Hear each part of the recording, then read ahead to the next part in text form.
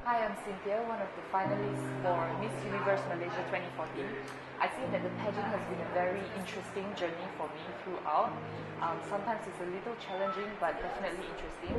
And one of the greatest lessons I've learned is to simply be myself, to simply enjoy every single moment of it, and also to stay focused on the reason why I'm in the pageant.